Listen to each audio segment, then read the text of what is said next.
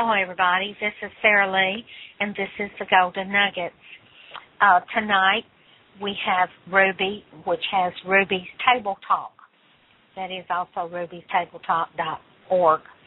And uh, she's not been on before. She usually makes a lot of YouTubes and puts a lot of information out.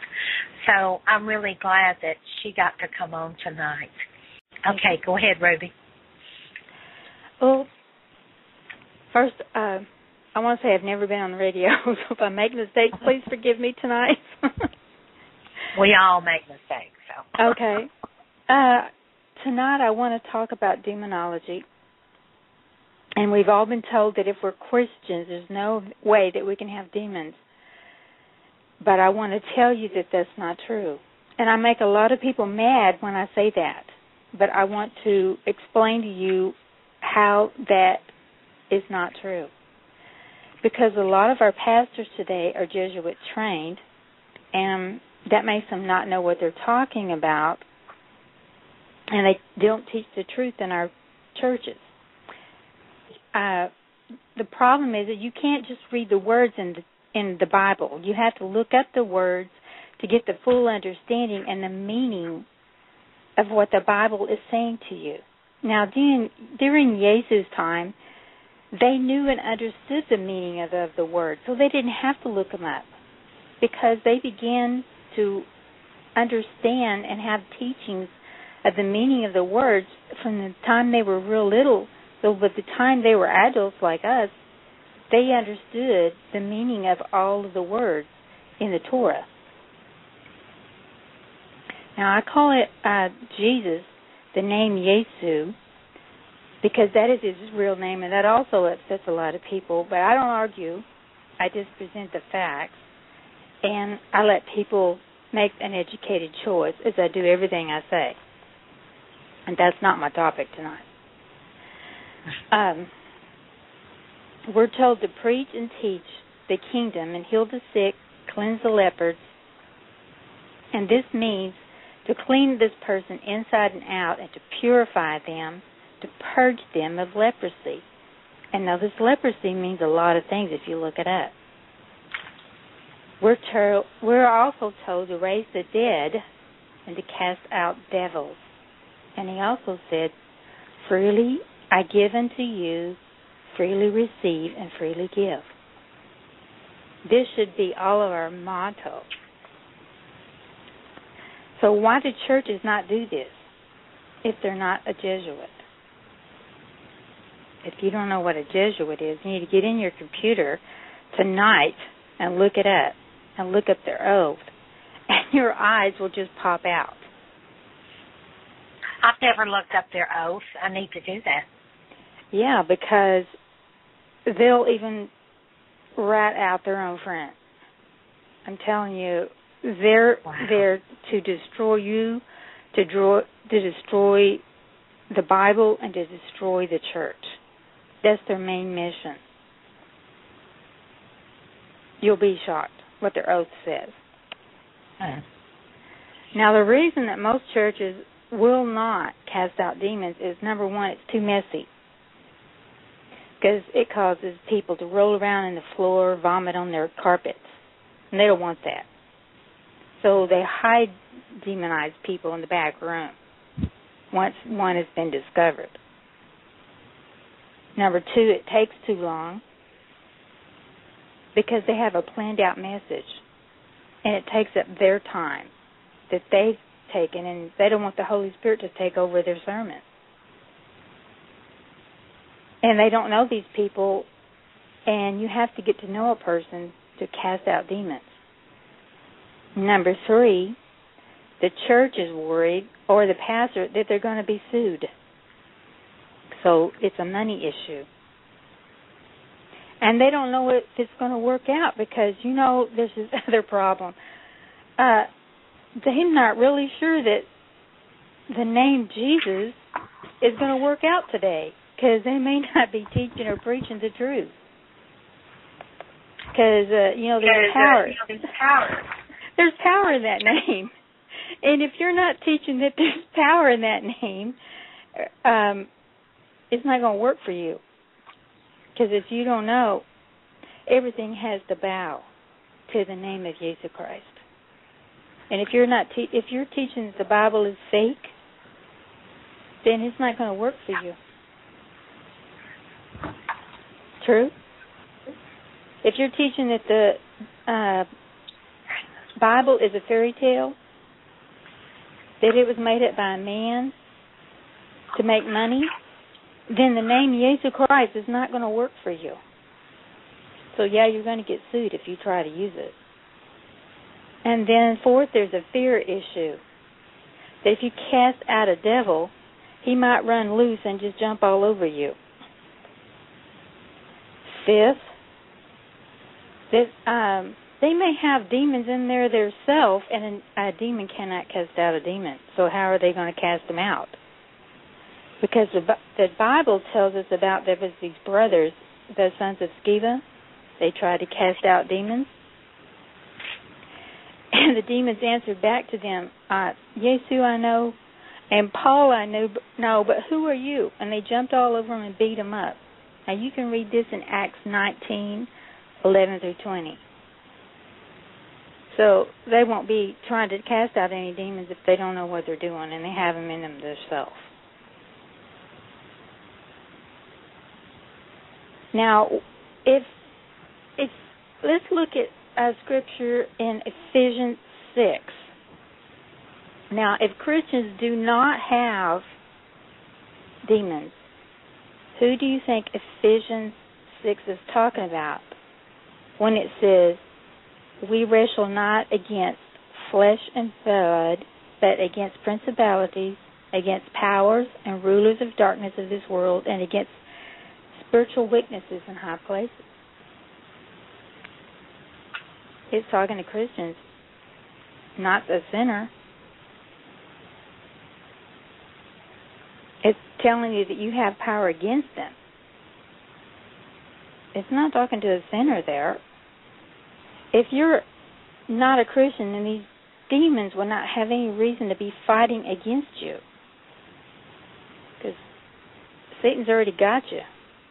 He's not going to be fighting against you if you're a sinner or if you're a hypocrite. You're already lost. You're already in the palm of his hand. He's already got you. But the instant you start thinking about Christ and start walking towards him, the fight is on. He's already fighting against you.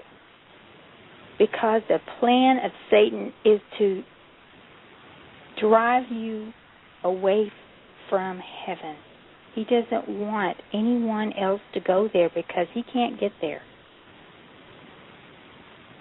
He wants to keep you out in his grasp. Now let's let's do some play acting here. Let's say you have a friend and you've known him for a very long time, and you just have trouble saying no to him. And he or she invites you to a party, and they're not a Christian but you are. And they didn't tell you what kind of party this was. They just talked you into going with them.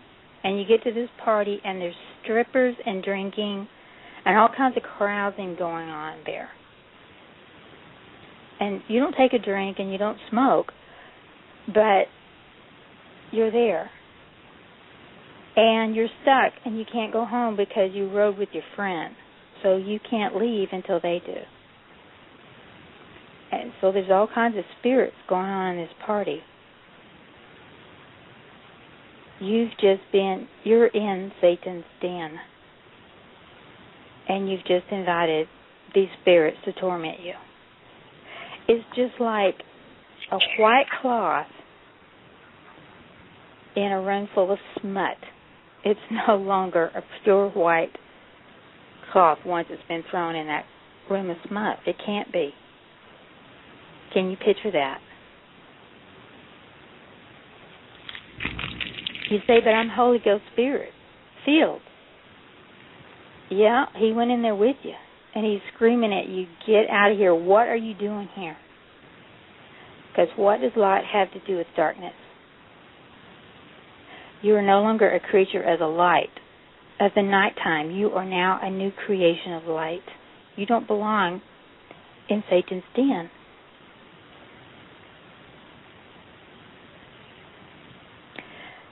The eyes are the window to your soul.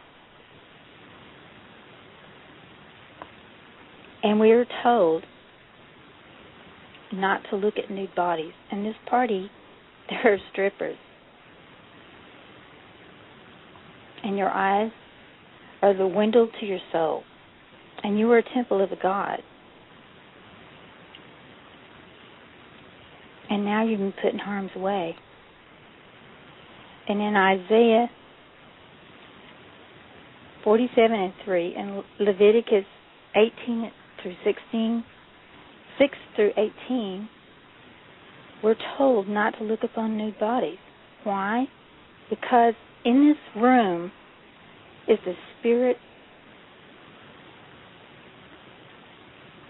running wild of Aphrodite. This is a spirit that lures men to meet their sexual needs. And is now playing with you. It is a spirit of sexual perversion. This spirit can easily enter into your body just for you being there. How? Well, it can torment you in your thought life and in your dreams. And all it takes is one look on a nude body and you're a Christian in that room. That's how a Christian can have a spirit, a demon in their soul. Satan hates you and he roams about looking for whom he may devour to steal and kill your soul. One stupid prank joke, someone can spike your drink and ruin your life at that party. You do not belong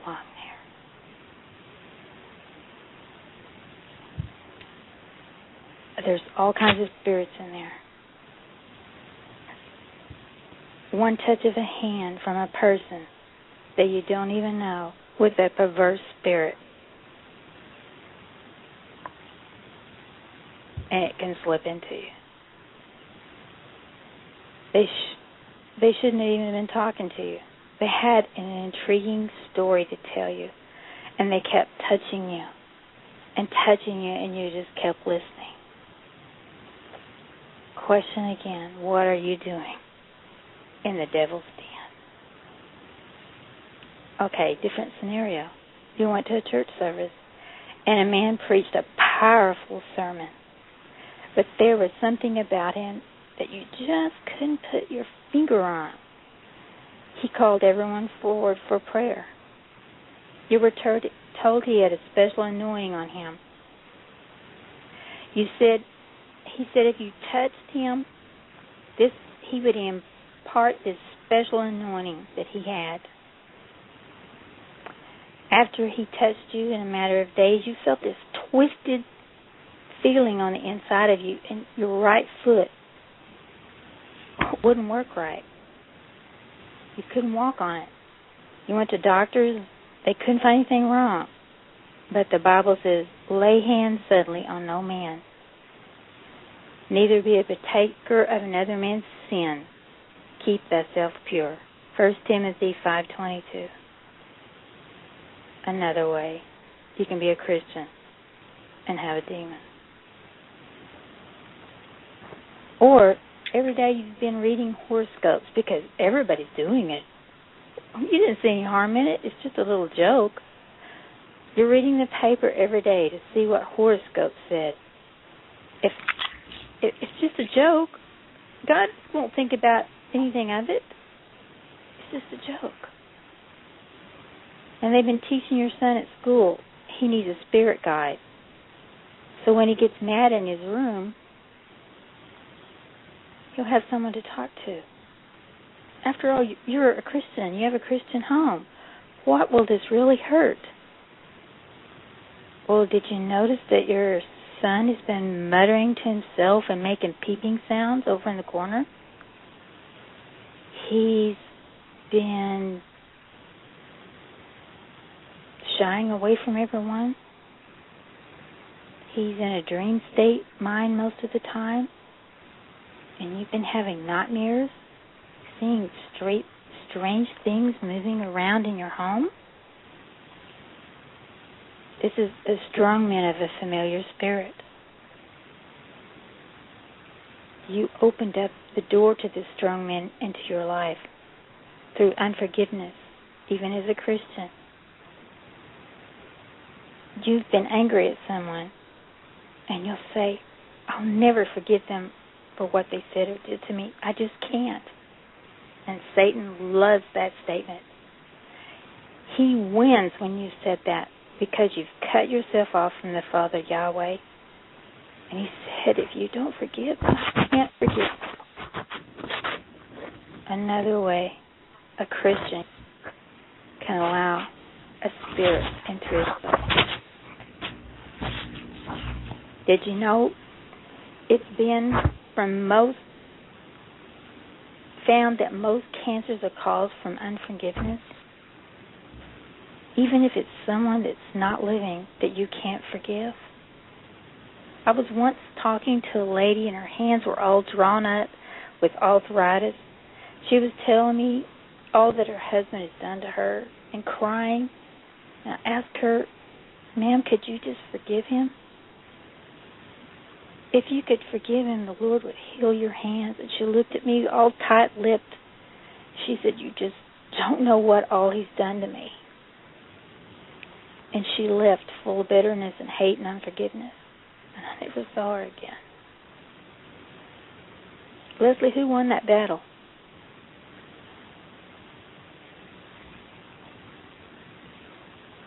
It wasn't her. Satan did.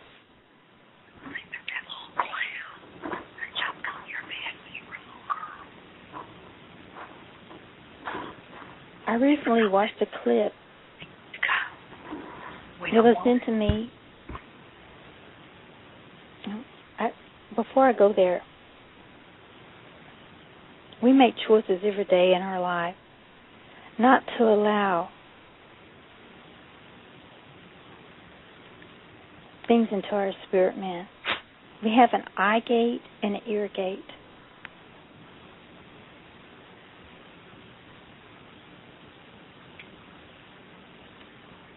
And it is our choice what we allow in our eye gates and our ear gates.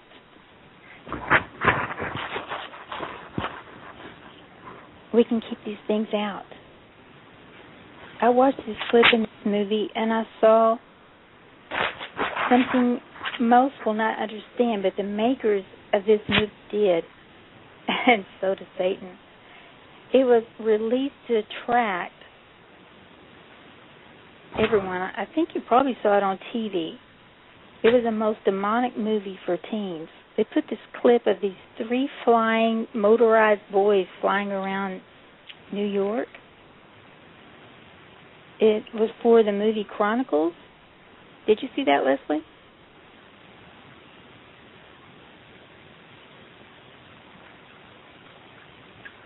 But this movie will bend your mind the reviews to this movie was terrible.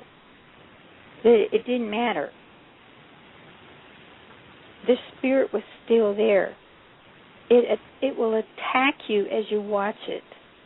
It was intended to attract all of the watchers to get deep into witchcraft. As you watch it, or any other movie, or listen to any demonic music, or read a demonic book, it does its job. It goes right into your spirit. Because they all have demons attached to them. If they're in demonic nature, they go home with you and they attack your mind as you rest in your bed at night. We're told to keep our hearts guarded. In Proverbs 4 and 23, keep your heart with all diligence, for out of it are the issues of life. For our heart is the seat of our appetites. From our emotions and our passions, with our words keeping them under control. How do we do that? Oh, we can't do it by ourselves. We need the Holy Spirit. If we're feeding our heart with demonic garbage, we're overriding the Holy Spirit who leads and guides and directs us. When He speaks to us in that small, still voice, we better listen to Him because sometimes He only speaks to us to see if we will obey one time. tells us to cast down imaginations and every high thing that exalts against the knowledge of God, and to bring into captivity every thought to the obedience of Christ.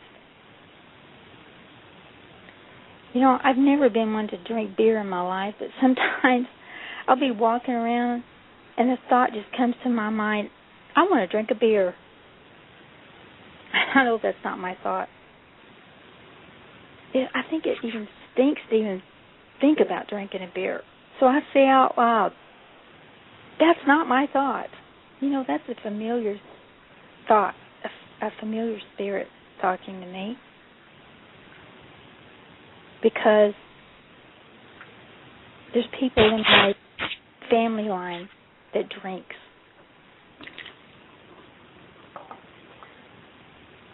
And I know the Holy Spirit wanted me to talk about familiar spirits.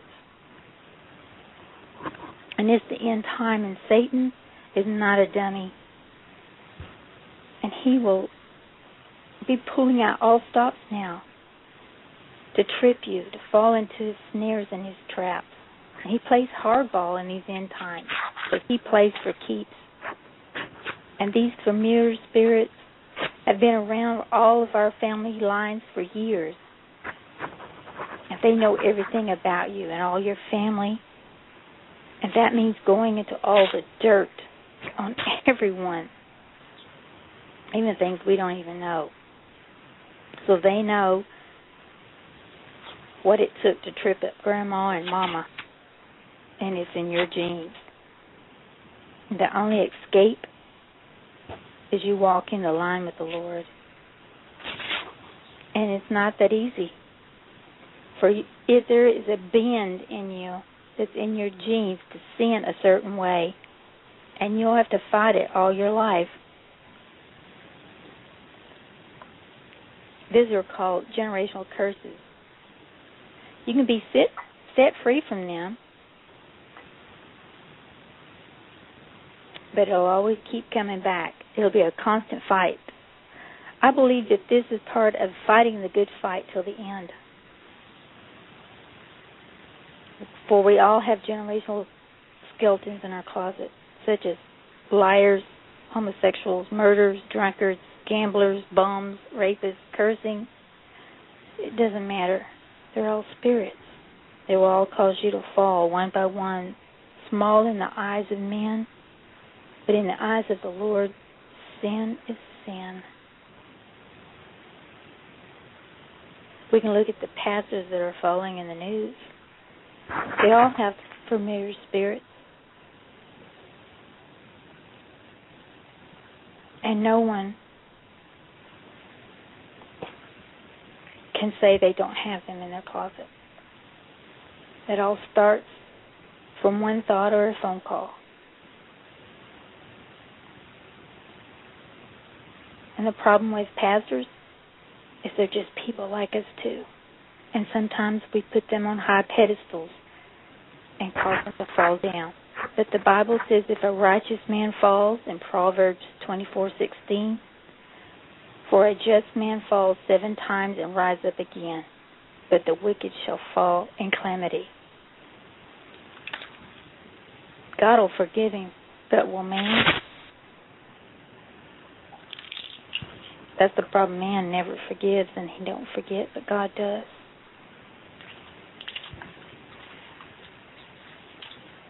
See, I know about falling down. I know all about familiar spirits. I'm not innocent because my pastor taught us you can't teach or preach about anything that you don't know or you haven't lived through yourself. This is why we're told to take every thought captive, to rebuke them, and to read your Bible, to get your mind off them, and to think about things that are true, honorable, righteous, things that are pure, things that are precious, things that are priceworthy, things that are in glory. Give praise, meditate on these things. This is you'll find this in Philippians four and eight. God never told us that walking a life with Him would be easy.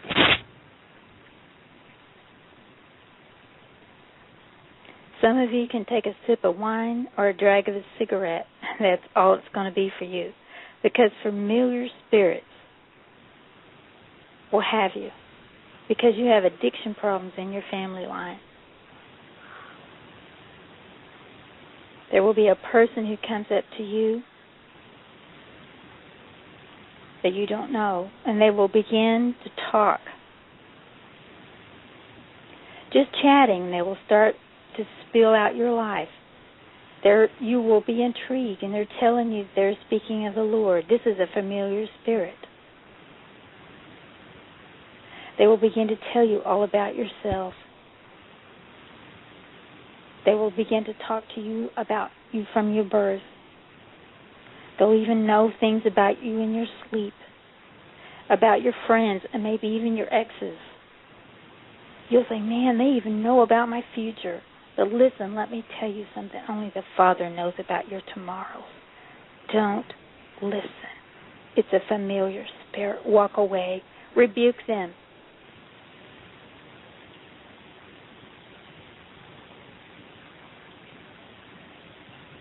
We're told over 352 times in the Bible to fear not.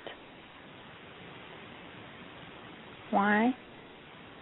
Because the King of Kings walks with us. His name is Jesus Christ. Everything that has a name has to bow. It has to stop in its tracks. Use that name.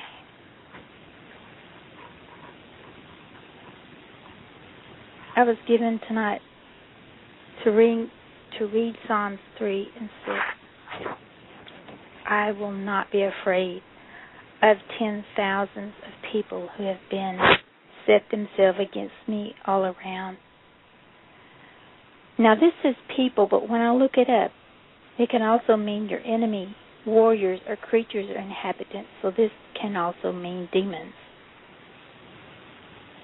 Because they are an enemy that is encamped around us, watching us at all times, waiting for one of us to fall.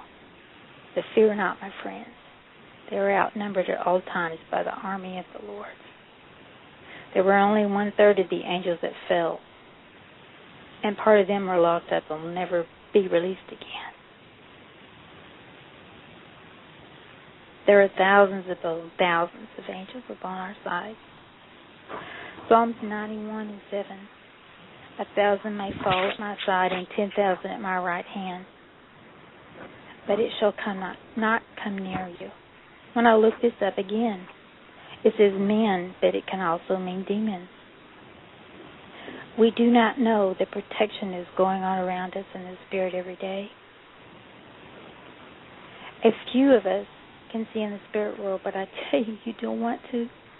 Very fearful. I begged once for this gift to be removed from me.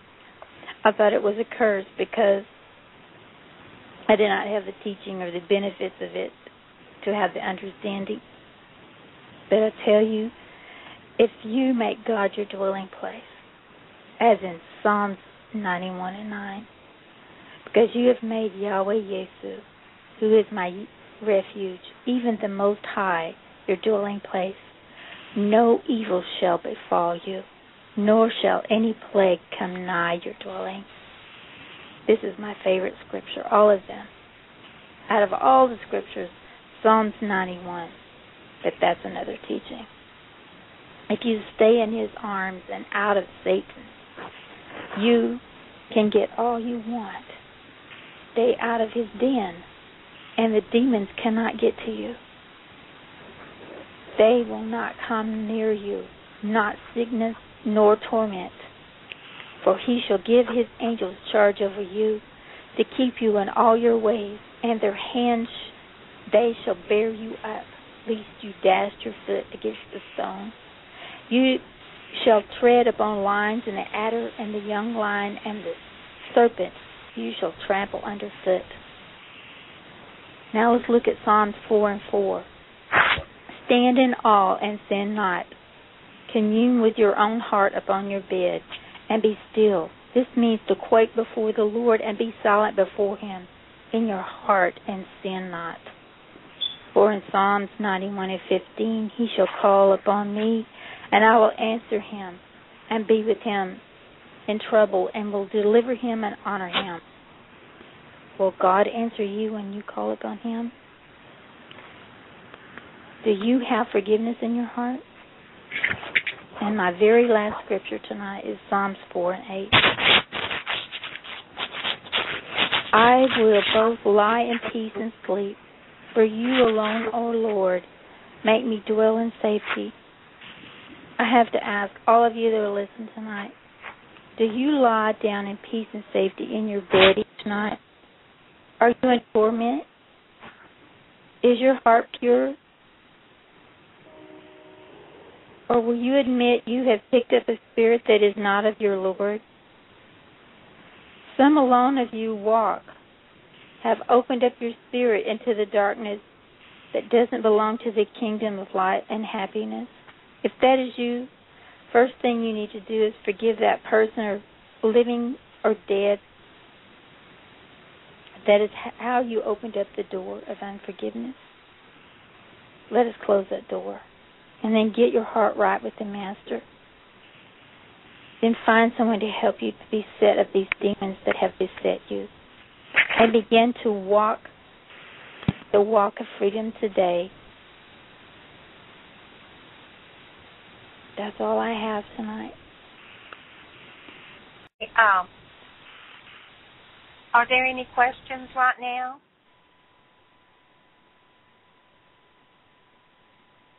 I guess not. Oh, I have one really. Okay. What do you I was thinking my daughter, uh, when she was real young, she told me about a clown jumping on her bed. A clown? And she, uh huh. And Okay. she saw that. And that was when she was young, probably five years old, Mhm. maybe even younger. And, you know, we've never understood what that was. Do you have any ideas about that? Mm, I would have to look at what a clown means. I have a a, a book of words. Um, I don't Okay. offhand know what a clown means. It's usually a mocking spirit. Hmm. That's what I'm hearing. That it's a mocking spirit. Something was mocking her. Is that all that she saw? Yeah, that's it. And she was so young, you know. Mhm. and uh, I was in the church, but uh, I was married. It wasn't her daddy, you know. Mhm. So um, she, you know, she had to face a lot of things growing up. You know, Mhm. I'm sorry I can't go back and change them, you know, but she did. And uh, there's one other thing that happened to me is I put my hand on a hand on a website, you know, like Mhm. for prayer. And later I felt there were some things that were not right about that. And when you were talking about transferring spirits like that, I thought, oh my goodness, you know, I probably need to be relieved of one myself. You you touched you put your hand on what? a hand, Oh, you know, on like somebody's a picture of a hand. Mm. Oh, well, I would have to talk to you more about that to find out if it, you know, what it did to you. Okay, we'll talk about it later. But Okay. I'm not, you know, those little things people don't think about, and they think, well, they're not going to get any kind of spirit. But uh, I, for one, you know, I know that a lot of things will happen and come on you, and I personally um, don't let anybody lay hands on me anymore.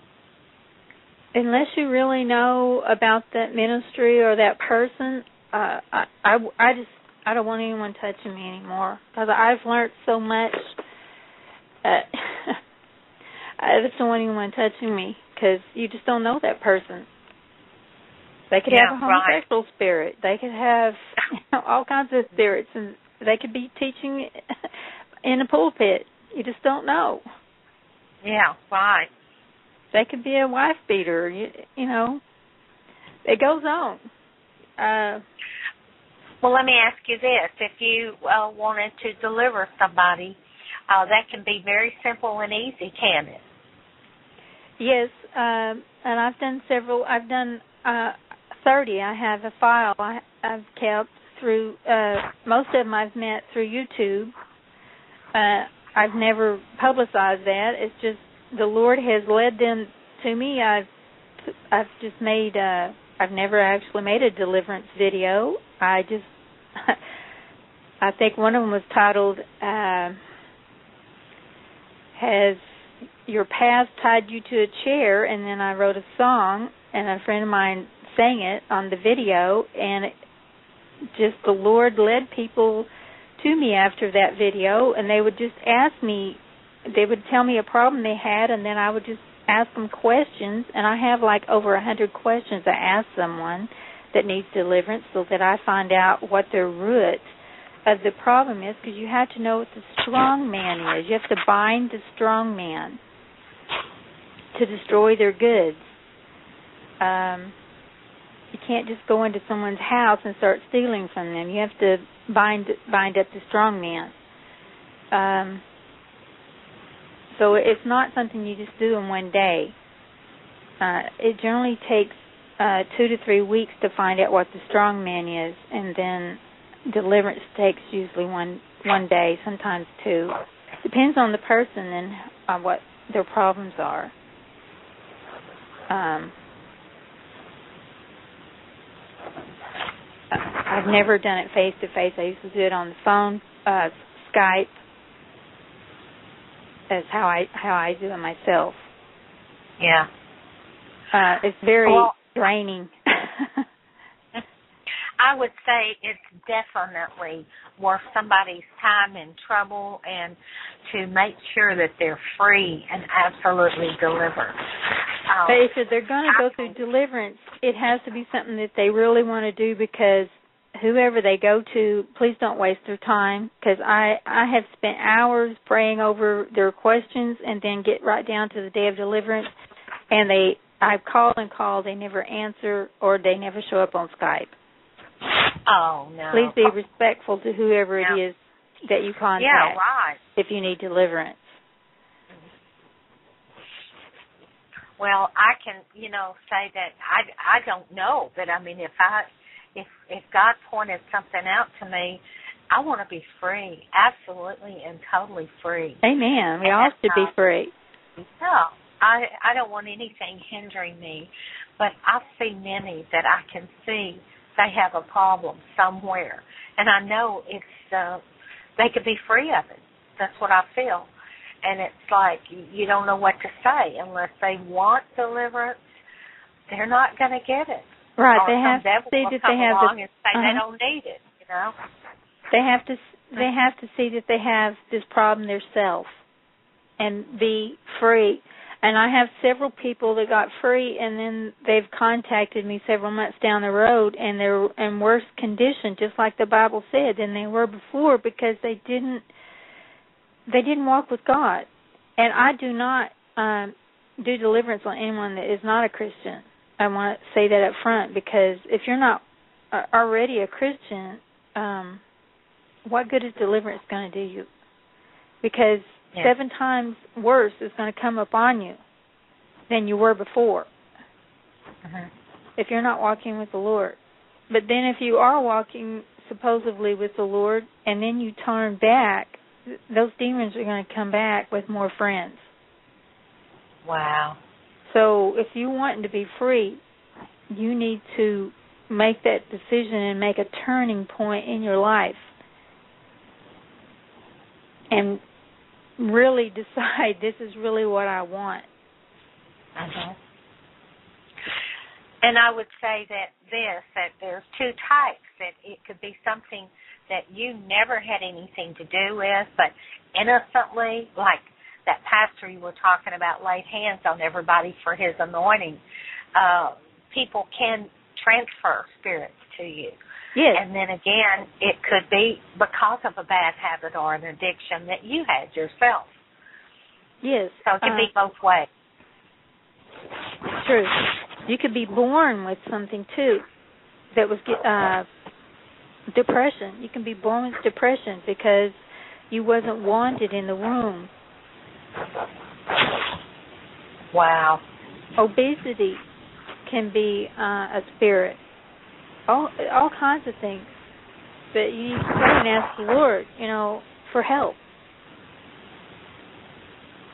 This is not Yeah. a, a flippant thing.